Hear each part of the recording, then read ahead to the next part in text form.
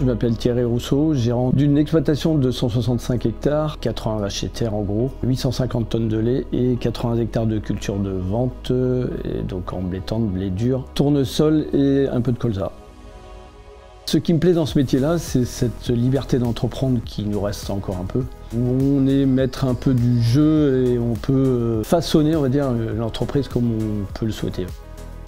Les inconvénients du métier en tant que chef d'entreprise, euh, ben, il y a déjà les heures qu'on fait. Aussi, on a le danger d'un revenu qui n'est pas fixe.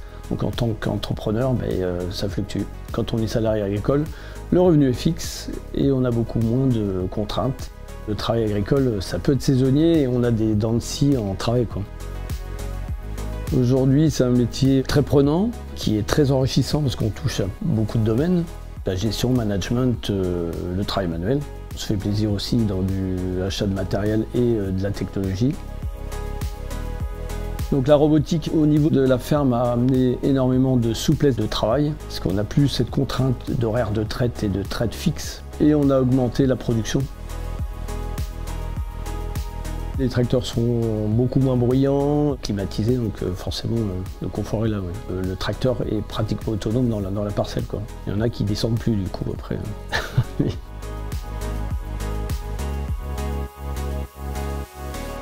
L'apport technologique fait que ben, le confort de travail est, là, donc on passe plus de temps donc, à la gestion et euh, aussi ben, la surveillance des animaux. Un animal qui est bien, qui vit bien et qui est confortablement installé produit bien. Ce qu'on a mis en œuvre pour limiter les impacts, donc c'est on a revu euh, la façon de travailler dans les champs en limitant les passages sur certaines cultures, moins de chimie, en mettant des cultures qui améliorent le sol.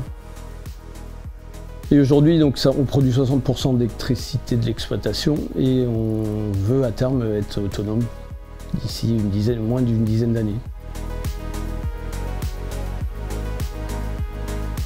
Alors les conseils pour les futurs agriculteurs de demain. Un, il faut que le métier leur plaise. Il met tellement d'énergie. Si on n'a pas la, la, fibre à mettre dedans, il ne faut pas y aller. Et après, celui qui a la fibre et qui veut s'engager, c'est euh, un métier où il y a encore la liberté d'entreprendre, on peut faire plein de choses. C'est plutôt plaisant pour ceux qui aiment ça. Demain, oui, avec euh, ben, les nouvelles technologies, euh, l'intelligence artificielle qui arrive pour la robotique en tracteur, les tracteurs autonomes de demain, c'est peut-être aussi une révolution enfin, qui arrive. C'est vrai que c'est un métier qui va fortement évoluer dans les prochaines années. Moi, ça fait 30 ans que je suis installé, il y a toujours de l'évolution, enfin, on se remet en cause euh, tout le temps. Parce qu'il y a toujours quelque chose qui arrive, enfin, c'est un métier d'entrepreneur, quoi.